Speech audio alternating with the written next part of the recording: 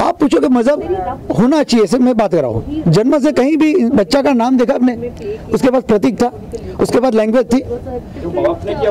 हाँ। तो ये इंसान की बनाई रचना मज़हब है। और आपने देखो बच्चे को अगर हम कुछ ना सिखाए हमारा थीम था ये कि बच्चे को जन्म से ही उसको अलग किया जाए। और वो बच्चे को न मम्मी पापा डैडी, फादर, न प्रे, आराध, न पुकार, न सिखा तो क्या होगा? उसकी दुनिया नहीं होगी। ये मेरा थॉट इसमें है। ये थीम है मेरा कि अगर बच्चे को हम कुछ न सिखाए तो सोचो। आपके बच्चे ने अपने सिखाया उसी लिए बोल रहे हैं ना। अगर हम चार बच्चे को अलग अलग मज़हब के बच्चे को कहीं और बड़े करे हॉस्पिटल बनाए, उसके लिए उसको कुछ आवाज़ ना दे तो क्या होगा? उसकी पहली शब्द क्या होगा? उसकी लैंग्वेज क्या होगी? वो दोनों कैसे बात करेंगे? किस तरह जिएँगे? कि हम प्रे कर रहे हैं? उसी तरह करेंगे? कि हम अजान पढ़ रहे नमाज़ पढ़ रहे उस तरह करेंगे? या चर्च में जा रहे वो कुछ नहीं। अगर धर्म का स्थल उसको दिखाया नहीं जाएगा, उसको प्रे नहीं सिखाया जाएगी, अजान नमाज़ नहीं सिखाया जाएगा, आरती नहीं सिखाई जाएगी तो बच्चों जो जन्म से क्या सीखेगा, वो हमारा थॉट है। और आने वाली पार्ट टू में हम लाइव भी करना चाहते हैं कि अगर बच्चे पे ऐसा करे कुछ लाइव दिखे कि बच्चे को कुछ न सिखाया जाए पूरी दुनिया देखे तो क्या होगा? मैं रिसर्च में बहुत मानता हूँ। आध्यात्मिक में मैं किसी मज़हब की सत्संग नहीं करता कभी भी। और सुनी हुई बातों को नहीं, मैं कुछ रिसर्च में मानता हूँ। तो ये मेरा थॉट उसमें बहुत अच्छी तरह मेरे सारे आर्टिस्ट और डायरेक्टर राइटर ने बहुत अच्छा ताना बना बना दिया, क्योंकि मूवी का तो मुझे एक्सपीरियंस नहीं था। मैं तो एक साधु भी हूँ अभी, और आया तब बहुत सारे लोगों ने मना किया। मैं अनुपम खेर को भी मिल चुका था। पता नहीं कि कश्मीर चलने वाली थी, उसकी वजह से मना किया। आशुतोष राणा को मिला। गोविंदा से बात हुई। संजय कपूर। से तो दो तीन बार बात होगी करेंगे। सरपंच जोशी से सारे लोगों ने बताया कि थोड़ा हंगामा होगा। मेरे को कुछ नहीं वाला। समझ नहीं पाए लोग कि इसमें ऐसी कोई बात नहीं है कि किसी को हम हर्ट करें। आप एक बार सोच लो इस दुनिया में मज़हब होना चाहिए या नहीं होना चाहिए? और मज़हब के नाम पर जो हिंसा नफरत हो रही है ये होनी चाहिए या नहीं चाहिए आपको सोचना है। अगर आप सोचते हैं कि नहीं होना चाहिए तो मेरा मैसेज प्लीज़ आप लोगों तक पहुँचाइए। मैं इसलिए आपका ऋणी रहूँगा। एक बार फिर से आप लोगों को धन्यवाद करना चाहता हूँ। फ़र्स्ट रिएक्शन जैसे मैंने कहा कि अभी कंटेम्प्रेरी जो टाइम चल रहा है 2022 में मतलब इक्कीसवीं सदी में हम लोग मज़हब धर्म के ऊपर फ़िल्म बना रहे हैं। तो मुझे ऐसा लगा थोड़ा एंशियंट है।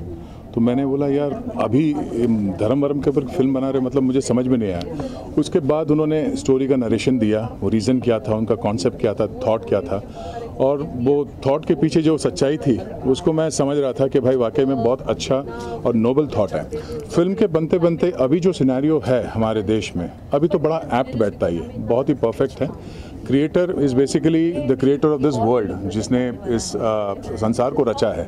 जिसने कोई भेदभाव नहीं किया। भेदभाव हम जैसे लोगों ने ही किया है। धर्म को लेके या एक बिलीफ को लेके। मैं अगर कोई चीज़ सही समझता हूँ कोई गलत समझता है उसको तो एक बिलीफ में जो बटा हुआ है और उसको लेके इंटॉलरेंट हो गए। तो ये जो अभी वर्ल्ड हम लोग क्रिएट कर रहे हैं उस वर्ल्ड में आई थिंक ये फ़िल्म बहुत ही परफेक्ट है। जहाँ पे हम लोग सिखाते हैं कि बच्चों को इसमें ये जो कैरेक्टर है डॉक्टर रे जो मैं प्ले कर रहा हूँ, उसका रिसर्च ही ये है कि बच्चों को कुछ भी ना सिखाया जाए।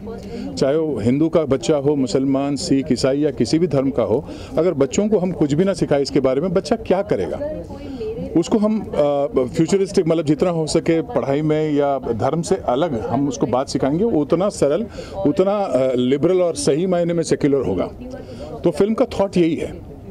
और इसको लेके जो सिंसियरिटी से हमारे प्रोड्यूसर डायरेक्टर्स ने इस फ़िल्म पे वर्क किया है इतने टाइम से, वो काबिल तारीफ़ है और इसीलिए मैं इस फ़िल्म से भी जुड़ा। और फ़िल्म अब जब बन के जब मैं देख रहा हूँ जो इसका प्रोडक्ट जो बना हुआ है टोटल तो मैं समझता हूँ कि वाकई में काफ़ी सही हद तक इसको हमने जस्टिफाई किया है। हाँ जी। कैरेक्टर सो इसमें my name is Eliza Sehgal and I am playing Martina so Martina is a Christian girl एक क्रिश्चियन लड़की का रोल है जो एक सिख लड़के से प्यार करती है जो बॉबी प्ले कर रहे हैं मूवी में। सो अगेन हमारा मूवी का पूरा थीम ही यही है एक हिंदू मुस्लिम कपल है सिख एंड क्रिश्चियन कपल है जो कि हाँ मानते हैं कि ऑर्थोडॉक्स ये थिंकिंग होती थी बट आज के टाइम पे भी कहीं आ, कहीं कहीं इंडिया के एरियाज़ में ये चीज़ें अभी भी चलती हैं कि लोगों को नहीं मंजूर है क्रॉस कास्ट में मैरिज करना प्यार करना या कुछ भी। तो अगेन हमारा मैसेज यही है कि हर इंसान सेम है। हर इंसान में खून हर इंसान एक ही है। सिर्फ़ आपके रिलीजन डिफाइन करने से कोई डिवाइड नहीं हो जाते, लोग कि हिंदू, मुस्लिम वगैरह कुछ भी नहीं है। हर इंसान सेम है, भगवान एक है। वो सिर्फ़ हमने भगवान की क्लासिफिकेशंस बना दी हैं कि डिवाइड कर दिया है। तो द क्रिएटर हमारा यही है मतलब कि the creator is one for every human being on earth so कोई डिफ्रेंशिएट नहीं करते, किसी के अगेंस्ट हेटरेड नहीं रखते और मिलजुट के एक दुनिया की तरह रहते हैं। Thanks to my whole team the director producer the whole cast सब लोगों ने बहुत सपोर्ट करा है। And I am very grateful for this opportunity क्योंकि मुझे ये चांस मिला है इतनी अच्छी मैसेज कन्वे करने वाली मूवी में। बस अब हमें लोगों से प्यार चाहिए हमें लोगों को ये मैसेज पहुंचाना है किसी भी तरीके से कि हाँ एक एक करके ही बंदा चेंज होगा। पूरी दुनिया एक बारी में चेंज नहीं हो सकती। तो थोड़े थोड़े लोग भी चेंज होंगे तो दुनिया में कुछ चेंज तो आएगा। सो so, बस that's it and thank you very much जैसा फ़िल्म का नाम है द क्रिएटर। मतलब जिसने दुनिया रची है जिससे हम सबको रचा है उसकी नज़र में कहीं भी कोई भेदभाव हिंदू धर्म हिंदू मुस्लिम ये सारी चीज़ें नहीं हैं। ये सारी चीज़ें हम मानव की बनाई हुई चीज़ें हैं। हम ही ने धर्म को क्रिएट किया है हम ही ने धर्म को आ, समाज में फैलाया है। हम ही कहते हैं कि भाई हम हिंदू हैं हम मुसलमान हैं हम क्रिश्चियन हैं हम ये। अगर हम ये चीज़ समझ लें कि भाई हम सबसे पहले इंसान हैं है ना? तो इंसानियत सबसे बड़ा धर्म है जो हमारी फ़िल्म कहती है, जो जिसे प्रवीण ने बहुत खूबसूरती से एक स्क्रिप्ट को बहुत अच्छे ढंग से कन्वे किया है। अगर सोसाइटी में ये चीज़ जाती है, हम चाहेंगे कि आप लोगों के माध्यम से अगर ज़्यादा से ज़्यादा लोग इस फ़िल्म को देखें, अगर उसमें से कुछ परसेंट लोग भी अगर उनका हृदय परिवर्तन होता है तो शायद यही हम लोगों का सक्सेस होगा। आप सबको थैंक यू यहाँ पर आने के लिए। और अब शादी भाई के हेलो, नमस्कार एवरीवन। जैसा कि फ़िल्म द क्रिएटर है, इसका कॉन्सेप्ट तो आपको सबको समझ में आ ही गया। ट्रेलर देखा आपने, फ़िल्म देखी। बेसिकली कॉन्सेप्ट ये है कि पूरी दुनिया से सारी बाउंड्रीज हटा दी जाएँ, सारी सीमाएँ हटा दी जाएँ। पूरी दुनिया में सिर्फ़ एक ही लैंग्वेज हो, एक ही धर्म हो, जो मानव धर्म जिसे कहते हैं, वही धर्म हो। तो दुनिया कितनी ब्यूटीफुल होगी, कितनी सुंदर होगी। कि जिस तरह से एक आकाश में एक पंछी उड़ता है तो उसके लिए कोई सीमा नहीं होती, कोई बाउंड्री नहीं होती, वो कहीं से कहीं भी उड़ के जा सकता है। ऐसे ही हमारे लिए भी हो।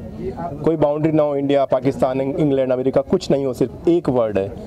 तो बेसिकली कॉन्सेप्ट फ़िल्म का वो है, जो कि हमारे डायरेक्टर साहब प्रोड्यूसर साहब ने बहुत ही बहुत बहुत लंबे टाइम से इस पर मेहनत की और बहुत अच्छे से उसको स्क्रीन पे उतारा है। तो अब आपकी बारी है, आप लोगों से यही रिक्वेस्ट है कि इस फ़िल्म को, इस मैसेज को ज़्यादा से ज़्यादा तो लोगों तक पहुँचाओ।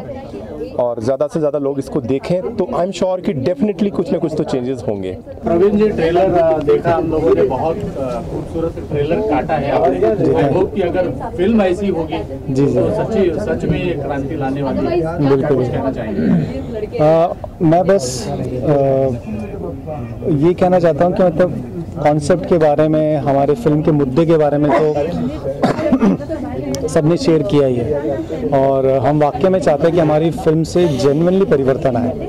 मतलब हम आ, ये पूरी फ़िल्म बनाने के बाद अगर हमारी फ़िल्म देख के दस लोगों के अंदर भी है ना चेंजेस आते हैं ना तो हम सोचेंगे हमने एक शुरुआत कर दी।